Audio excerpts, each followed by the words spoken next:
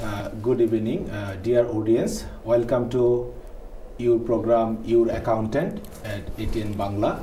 Uh, আশা করি আপনারা সবাই ভালো আছেন আপনারা জানেন আমাদের এই অনুষ্ঠানটি পাক্ষিক শুক্রবার আটটা তিরিশ মিনিটে প্রচারিত হয় এবং এটা টেলিকাস্ট হবে রিপিট শনিবার এগারোটায় আমাদের এই প্রোগ্রামে আমরা চেষ্টা করি আপনাদের অ্যাকাউন্টেন্সি অ্যান্ড বিজনেস রিলেটেড যেই ইকোয়ারিগুলি আছে ইকোয়ারিগুলির কোশ্চেনের অ্যান্সারগুলি দিতে প্লিজ আপনারা আমাদের যেহেতু অনুষ্ঠানটি live you can you can call uh, in our program in 0203 397 4740.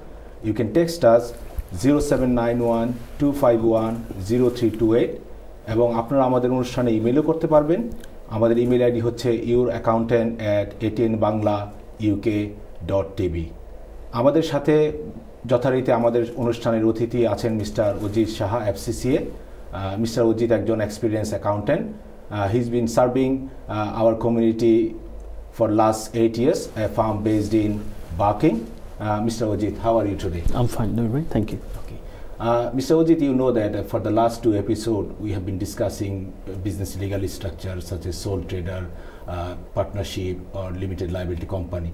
And then we also discuss about uh, business planning, uh, marketing mix. We discuss the filing requirement, penalties uh, of different type of businesses.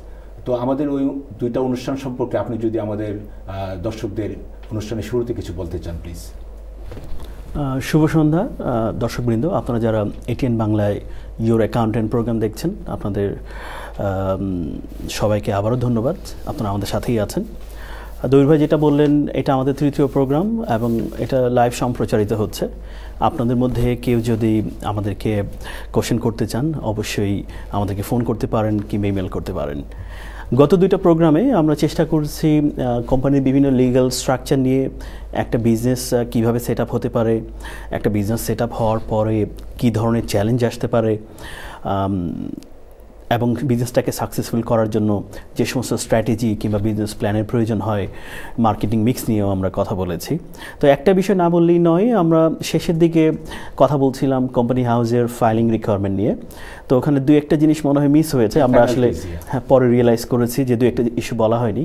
তার মধ্যে একটা ছিল যে company হাউসে আপনার অ্যাকাউন্টসটা জমা দেওয়ার সময় আসলে নাইন মান্থস এবং পেনাল্টিটা হলো আপনি যদি একদিনও ডিলে করেন হান্ড্রেড ফিফটি পাউন্ড পেনাল্টি আর এটা যদি আপনি যদি আপনার ডিলেটা তিন মাস, এক এক মাসের বেশি হয়ে তিন মাস হয়ে যায় then it's three seventy five then three to six months is seven fifty এবং if it's like more than six months then fifteen hundred pound penalty তো দর্শকবৃন্দ, আপনারা একটু খেয়াল রাখবেন। আর সেকেন্ডলি আমরা একটা বিষয়ে বলেছি কিনা আমরা নট শিওর বাট আমরা এখন বলছি যে ট্যাক্স অফিসের যে ফাইলিং ডেডলাইন সেটা আসলে বারো মাস টুয়েলভ মান্থস কিন্তু paying the liability is nine months so একটু কনফ্লিক্ট আছে, আপনারা একটু ডাবল চেক করে নেবেন যে কোম্পানি ট্যাক্স রিটার্নটা জমা দেওয়ার সময় হলো বারো মাস, কিন্তু আপনার লাইবিলিটিটা ক্লিয়ার করতে হবে ন মাস একদিনের মধ্যে। এমন এইটুকুই আমাদের আলোচনা ছিল। শুধু ভাই, আপনি যদি আজকের বিষয়ে আগান। আপনি তো বলছিলেন অ্যাবাউট দ্য পেনাল্টি কেউ যদি সাকসেসিভ ফাইলিং রিটার্ন ডিলে করে তার জন্য কোনো এক্সট্রা পেনাল্টি রাইট মজার কোয়েশ্চেন হলো যে পেনাল্টিটা এরকম যে আপনি যদি পরপর দু বছর ডিলে করেন তাহলে আপনার পেনাল্টিটা হয়ে যাবে ডাবল তো ডাবলটা আসলে কীরকম মনে করেন গতবারও আপনি ডিলে করেছেন এবারও ডিলে করেছেন তো আপনার এবারকার পেনাল্টি যদি হতে হয় থ্রি সেভেন্টি ফাইভ কিন্তু সেটা হয়ে যাবে like seven fifty So you have to be very aware very about careful. it. We have to be very careful. Thank you. Okay. Uh, before we go to our uh, discussion for today's topics, uh, there is two email the audience has sent to us our email ID. So can we just answer those email email question first, please? okay. The first email uh, got we got it here. So the audience says that uh, thanks for your program. It's really informative. Uh, uh, and this- he said that I have been running a business for last three to four years as a sole trader. Uh, after watching your program, I realized uh, it will be beneficial if I run a business as a company. So, what to do uh, to from sole trader to transfer my company as a company, and then you know, do I need to inform HMRC as well? Okay ধন্যবাদ আহ, যিনি কোশ্চেনটা করেছেন quite is bet technical এবং আসলে real life থেকে প্রবলেমটা তো আপনি যেটা মিন করতে চাচ্ছেন যে কেউ যদি সেলফ এমপ্লয়েড থেকে থাকে কয়েক বছর যাবৎ এবং সে যদি এখন লিমিটেড কোম্পানি ফর্ম করে বিজনেসটাকে ট্রান্সফার করতে চায় তাহলে আসলে প্রসিডিয়ারটা কি? তো দর্শকবৃন্দ আপনারা অনেকের মধ্যেই হয়তো আপনাদের সিচুয়েশন এটার সাথে মিলে যাবে। তো সেক্ষেত্রে আপনারা যেটা মনে রাখবেন যে এই সিচুয়েশনটার আগে আপনাদের একটু ভালো প্ল্যানিং দরকার। কারণ আপনারা জানেন যে ট্যাক্স ইয়ারটা আসলে রান করে সিক্সথ অফ এপ্রিল থেকে fifth of April next year next year তো মনে করেন আমরা এখন যে পর্যায়ে আছি আমরা আসলে ট্যাক্স ইয়ারে দাঁড়িয়ে আছি দু হাজার পনেরো ষোলো। We call it two thousand fifteen sixteen আসলে ট্যাক্স ইয়ারটা শুরু হয়েছে sixth of April two thousand ফিফটিনে আর শেষ হবে fifth of April two thousand সিক্সটিনে তো আপনাদের মধ্যে কেউ যদি তার সেলফ এমপ্লয়ের বিজনেসের টুকু লিমিটেড কোম্পানিতে নিতে চান আমি বলব বেস্ট প্ল্যানিং হলো যে একদম কাট অফ টাইম যখন আপনি নেক্সট মনে করেন নেক্সট মার্চে আপনার সেলফ এমপ্লয়েডের ট্যাক্সি এটা শেষ হচ্ছে।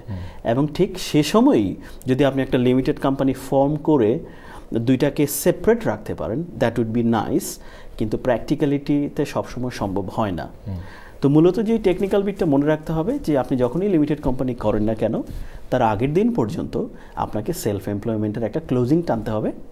আপনাকে বের করতে হবে যে আপনার কোম্পানিতে আপনার অ্যাসেট কিংবা লাইবিলিটি কী ছিল এবং সেইটার একটা হিসাব নিকাশ করে সমপরিমাণ ক্যাপিটাল আপনি আপনার লিমিটেড কোম্পানিতে শেয়ার হিসেবে দেখাতে পারবেন।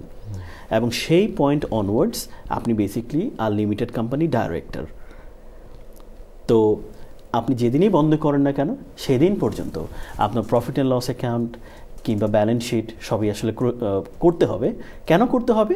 বিকজ এই রেজাল্টটুকুই আপনার কোম্পানিতে অ্যাজ এ অ্যাসেট এবং লাইবিলিটি আপনি ইন্ট্রোডিউস করতে পারবেন as a director so can you say that as a sole trader we prepare accounts the same accounts will be transfer as a company as a asset and liability yes I mean it's more or less correct আসলে হয়েছে কি যে soul soul ট্রেডিংয়ে আমরা কি বলি? যে একজন owner invest করেছে থার্টি গ্র্যান্ড মনে করেন যে একজন ওনার থার্টি গ্র্যান্ড ইনভেস্ট করেছে। তো এই থার্টি গ্র্যান্ডে কিন্তু কোম্পানিতে গেলে শেয়ার শেয়ার ক্যাপিটাল হয়ে যাবে। তো আপনাকে তো আগে জানতে হবে যে আপনার বিজনেসে কতটুকু ইনভেস্টমেন্ট আছে। তো এই ব্যাপারটুকুকেই সাম আপ করে দেন আপনাকে লিমিটেড কোম্পানিতে মুভ করতে হবে। আর বেসিকলি এটা যদি ট্যাক্স ইয়ারের মাঝামাঝি পড়ে যায় তাহলে আপনাকে ট্যাক্স রিটার্নও করতে হবে কোম্পানি রিটার্নও করতে হবে।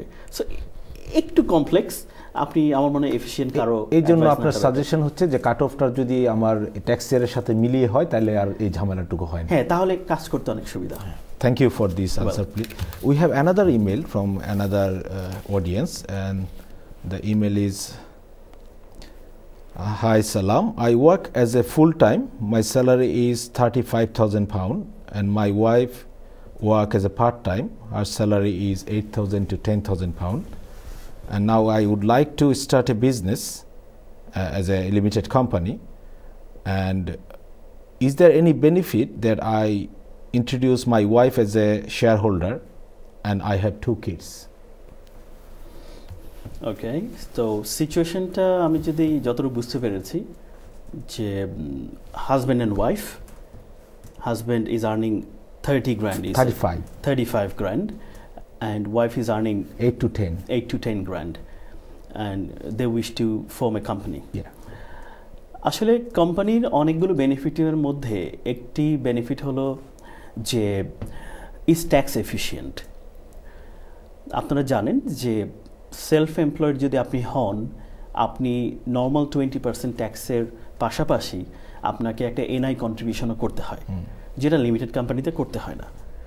তো আপনি যদি কোনো একটা স্মল ট্রেডিং চালাতে চান এবং সেটাকে ট্যাক্স এফিশিয়েন্ট করতে চান obviously limited company is the first choice so in that case আমি বলব যে যিনি আমাদের কোয়েরিটা পাঠিয়েছেন অবশ্যই it's a right decision now how it can be tax efficient funny enough, uh, he also mentioned that they have two kids. Yes. So যেহেতু কিডসের ব্যাপারটা আসলো এখানে একটা বিষয় আমি বলে রাখি যদি আমরা পরে আলোচনা করব যে চাইল্ড কেয়ার ভাউচার নামে একটা স্কিম আছে government applicable which is tax free like monthly two hundred forty three pound আমি পরে সেটা হাইলাইট করব। তো হাজব্যান্ড অ্যান্ড ওয়াইফ যখন একটা কোম্পানির মালিক হন তারা কিন্তু তাদের ট্যাক্সটাকে প্ল্যান করার অনেক অপরচুনিটি থাকে। বিকজ একজনের ইনকাম যদি ফোরটি টু থাউজেন্ডের উপর হয়ে যায় তাহলে কিন্তু সে হায়ার রেট ট্যাক্স. ব্যান্ডে চলে যেতে পারে। তো সেক্ষেত্রে তাদের যে প্রফিটটা after tax as a dividend যদি হাজব্যান্ড অ্যান্ড ওয়াইফ স্প্লিট করে নিতে পারেন সেক্ষেত্রে দুজনেই কিন্তু ট্যাক্সের একটা বেনিফিট পাচ্ছেন এবং কাউকেই হায়ার রেট ট্যাক্সে যেতে হচ্ছে না। তবে হ্যাঁ আপনি দর্শক যিনি প্রশ্ন করেছেন আপনি রাইট ডিসিশন নিয়েছেন আমি বলতে পারি। তবে আপনি বিফোর এই ট্যাক্সের সিচুয়েশনগুলো আরেকবার ডাবল চেক করে নেবেন। আপনার পাশাপাশি যদি কেউ থাকে কিংবা আপনার যদি আরও কোনো কোশ্চেন থাকে আপনি আমাদেরকে ইমেল করতে পারেন আমরা আপনাকে আরও কনক্লুসিভ আনসার দিতে চেষ্টা করব but it's a right decision Okay, so just regards to that query, for example, because the wife is earning less, Yes. and at the moment the husband is earning more. Mm-hmm. So if they form a company, is it better that the wife will have more share as a percentage, say seventy percent, then she will get more dividend because at the moment she's earning only eight to ten thousand, so that actually barely cover her personal allowance. Yeah, that's true. As long as none of them cross 42,000 pound gross income, Yes. they are fine. Okay. So, actually, based on that situation, they can split their shareholding. Okay. Uh, to start with, they can even do uh, 25%, 75%. Yeah. And any point of time, they can easily change 50 50 or whatever they like. It's quite an easy process. Okay. Yeah. Th- Thank you for that answer. Uh, today we are going to discuss about pay, pay as you earn. So, uh, Mr. Ojit, you know that you know when we employ people, we have to register for pay because for by that process we collect the tax and national insurance. We deduct that and we collect it from the employees and give it to HMRC. And you also have to pay employers' national insurance contribution as well obviously there is some you know exemption up to certain limit so my question is if i employ someone what is the deadline of registration for example and if i employ someone there is other compliance as well for example looking at their immigration status even Hmm. so if you can put some thought on that so our audience can get help please thank you এবার আমাদের আজকের যে মূল বিষয়টা ছিল যে আমরা payroll নিয়ে আলোচনা করব আপনি আমরা এখন মূল ইস্যুতে আসছি তো পেরোল আসলে যারা আপনার শ্রোতা আছেন তাদের উদ্দেশ্যে বলছি এখানে আমরা নর্মালি বলি P A Y like pay as you earn আপনারা যারাই যে কোনো জায়গাতে কাজ করেন না কেন মান্থ শেষে আপনারা একটা পে স্লিপ পান। এবং পে স্লিপ পাওয়ার সাথে সাথে আপনারা দেখেন যে একটা ট্যাক্স কেটে নেওয়া হয়েছে। তো বিকজ আপনি যখনই আর্ন করছেন তখনই ট্যাক্সটা পে করছেন। That's why we call it pay as you earn অনেকে বলে পি এ ওয়াই স্কিম কিংবা পেরোল সহজ ভাষায়। তো পেরোলটা আসলে কখন দরকার? অবশ্যই আপনি যদি কোনো স্টাফকে নিয়োগ দেন, তাকে স্যালারি দিতে হবে।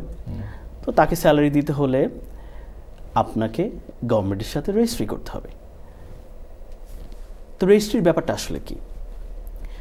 আপনি যদি আপনি কাউকে স্যালারি দেওয়ার জন্য রেজিস্ট্রেশন করতে চান, তাহলে এইচএমআরসির স্পেসিফিক লিঙ্ক ধরে সহজেই করতে পারেন। প্রথমত, আপনার কী কী ডিটেল প্রয়োজন হবে? আপনি যদি সেলফ এমপ্লয়েড হন বেসিকলি আপনার name address NI number and UTR number UTR, unique taxpayer reference number. Yes unique taxpayer রেফারেন্সটা দরকার এবং দরকার যে আপনি প্রথম স্যালারিটা কবে দিতে চাচ্ছেন। নর্মালি আপনি স্যালারি পে করার এক মাসের মধ্যে কিংবা এক মাস পূর্বে রেজিস্ট্রেশন করাটা ভালো। আপনি রেজিস্ট্রেশন করার পরে অনলাইনে সাথে সাথে একটা রেফারেন্স নাম্বার পাবেন আই মিন অ্যাকনোলজমেন্ট নাম্বার এবং within two two three weeks আপনি একটা প্যাক পাবেন from H M revenue with some documents যেটা কোয়াইট ইম্পর্টেন্ট ডকুমেন্ট যেখানে আপনার Pay reference number. PAY reference এবং অ্যাকাউন্টস অফিস রেফারেন্স দুইটা জিনিস থাকবে এবং দুইটা ভেরি ভাইটাল অবশ্যই আপনাদেরকে সেটা সিকিউরলি রাখতে হবে। আর আপনি যদি কোম্পানি হয়ে অ্যাপ্লাই করতেন তাহলে কি লাগতো? তাহলে লাগতো company name address and detail as usual এবং একজন ডাইরেক্টরের ডিটেল তো সেই ক্ষেত্রে লাগবে একজন ডাইরেক্টরের ডিটেল আপনার যদি কোম্পানিতে পাঁচজন ডাইরেক্টর হয় doesn't matter you just need one director detail again যে আপনি কবে থেকে রেজিস্ট্রি করতে চাচ্ছেন কবে পেমেন্টটা হবে সেম থিং সেম থিং প্রসেসটা একই অ্যাকনোলেজমেন্ট পাবেন এবং কিছুদিন পরে রেফারেন্স লেটারটা আপনার কাছে চলে আসবে। তারপরে ব্যাপারটা হতে পারে যে তাহলে আমি পিওআই রেজিস্ট্রেশন তো হলো। এখন আমার পেমেন্ট করার সময় আসলো। তা আমি কি উইকলি পে করব? নাকি মান্থলি পে করব নাকি ফোর্থ নাইটলি পে করব? এটাও কিন্তু ডিপেন্ড করে আপনার বিজনেসের নেচারের উপর। আপনি জানেন আমাদের যারা ক্লায়েন্ট আছে let's say restaurants they like to pay weekly কিন্তু আপনি যদি একজন আইটি কনসালটেন্টের কাছে যান they like to take it monthly so it can completely differ differ for your business natures. এটা বিজনেস নেচারের উপর ডিপেন্ড করে। এখন যদি আপনি আসেন যে ওকে আমার কাছে রেফারেন্স নাম্বারটা হলো আমি চিন্তা করলাম কাউকে আমি উইকলি পে করব। তাহলে পরের স্টেপটা আসলে কি? পরের স্টেপটা হলো যে আপনি যখনই পে করেন না কেন আপনার ইনফরমেশন কিন্তু এইচএমআরসিকে জানাতে হবে। আপনারা হয়তো শুনেছেন অনেকে যারা অলরেডি ব্যবসার সাথে জড়িত আরটিআই নামে একটি শব্দ। Real time information. Real time information যে আপনি যখন স্যালারিটা পে করছেন তখন কিংবা তার আগে you have to submit online very interesting যে বিকজ সবাই কিন্তু এখন ডিজিটাল যুগ। আই মিন সবাই পেপার বেস থেকে এখন সবাই ইলেকট্রনিক চলে আসছে। তো আপনাকেও ইলেকট্রনিকলি আপনি যখনই কাউকে পে করেন না কেন ইদার সেই ডেট কিংবা তার আগে এইচএমআরসিকে জানাতে হবে। একটা রিপোর্ট যায় সেটাকে বলি আমরা রিয়েল টাইম ইনফরমেশন করছেন। আপনাকে এফপিএস বলি আমরা বা দেয়ার আর ডিফারেন্ট নেমস কিন্তু মোদ্দা কথা হলো যে এইচএমআরসিকে জানাতে হবে অনেকে তাদের কমপ্লায়েন্সের কাজ কমানোর জন্য অ্যাডমিনের কাজ কমানোর জন্য অনেককেই পেরোলে মান্থলি করে দেন so that they can actually process the whole thing together It's less hassle for the is business less hassle. For an example, let's say um, you are a restaurant owner. Now you have ten employees. Now, you, what you can do simply, you can make a spreadsheet, write down number of hours they have done over the whole month. Then on the month end, give it to your accountant. So they can process your payroll. Let's suppose um, 30th June is your month. So on 30th, you know whoever worked how many hours. Then on next day, email to your accountant. Then email, uh, then accountant can email you back draft pay slips. You have a look Yeah. and pay them on 5th. And they can submit on your behalf. So if you can reduce your work, I mean, I think that's better. Rather doing somebody weekly, somebody monthly, somebody fortnightly, that can create a lot of trouble. Because nowadays you have to send the RTI, real time information. Yes. And if you have weekly, fortnightly, and monthly, it's more likely you miss something. Information. Yeah, more likely you'll miss something. And at the moment, yes, I know that for micro em- employers, you know, there is some relaxation re- required. But you know, you have to give the penalty after a certain time anyway. Yes, I mean RTI. Now, well, HMRC basically wanted to impose penalty long time back. Yeah, it's true. But due to a lot of uh, consultation, they finally decided that uh, up to next March or April, there will be no penalty for micro employers only. কিন্তু আপনি organisation যদি বড় হয় I mean আপনি যদি RTI দেরি করেন there could be some penalties Yeah. So that's fine. If if I employ someone, we know that through the pay process we deduct the tax and also national insurance which employee pays. And employer also pay a national insurance. And we know that the tax purposes everybody got some personal allowances as well. And in the payslip we also see tax code. Hmm. So before we go to break, if we just can talk about the allowance and the code because we have to go for a break as well. Okay uh, অবশ্যই আপনারা জানেন আপনারা হয়তো আপনাদের pay স্লিপে দেখেছেন একটা familiar code one zero six zero L আসলে এটা কি? It's a mystery what is one zero six zero L basically if you forget about L and put a zero then we got one zero and six double zero it means যে আপনার দশ হাজার ছশো পর্যন্ত basically আপনার ইনকামটা taxable নয় in ইউকেতে অন কারেন্ট ফাইন্যান্সিয়াল ইয়ার এবং all the government is planning to increase it in coming years. তো পার্সোনাল অ্যালাউন্স আসলে আর কিছুই না যেটা হলো বাই ল যেই পরিমাণ income is not taxable that's call personal allowance এই মুহূর্তে দশ হাজার ছয়শো পাউন্ড পর্যন্ত ইনকামের উপর কোনো ট্যাক্স হয় না but there is some NI implications. আপনি বলেছেন যে এনআইটা দুই ধরনের হতে পারে একটা এনআই এমপ্লয়ি পে করে এবং আরেকটা আরেকটা এনআই এমপ্লয়ার পে করে। তো এমপ্লয়ি যেই ট্যাক্সটা পে করে আসলে অ্যারাউন্ড এইট থাউজেন্ড পর্যন্ত তাদেরকে কোনো এনআই দিতে হয় না। তো আপনার ইয়ারলি ইনকাম যদি রাফলি এইট থাউজেন্ড পাউন্ড হয় basically you are not paying any employees NI which is kind of twelve percent on the other hand এমপ্লয়ারকে কিন্তু এমপ্লয়ার্সের এনআই কন্ট্রিবিউট করতে হয় thirteen and eight percent but provided so far so good যে up to two thousand pound there is an exemption for any micro employers that you don't need to pay that tax in a tax year that is a two thousand pound as a total as a total amount per tax year so মনে করেন আপনার ব্যবসায় পাঁচজন employee আছে এবং সবার employers NI calculate করার পরে বছর শেষে আসলো three thousand pound but government will give you an exemption for two thousand So you have to pay the rest. So 1000. You have to only pay one thousand pound মজার বিষয়টা হলো আপনার যদি লোয়ার পেড এমপ্লয়ি থাকে then you can also cover that whole two thousand pound Yeah. So it's, it's a part of tax planning also. You know that, like a lot of people utilize it just to get rid of that. I think lots of people may be going for the part-time people as well, you know, rather than giving a full-time because when you give a full-time and you add minimum wages, Yes. that actually exceed that 8,000 pound anyway. Yeah, that's right. Uh, we'll talk after the break. We have to go for a break. Uh, dear uh, viewers, uh, stay with us, please. Uh, after the break, we'll discuss the rest of the topics. Thank you for watching Your Accountant.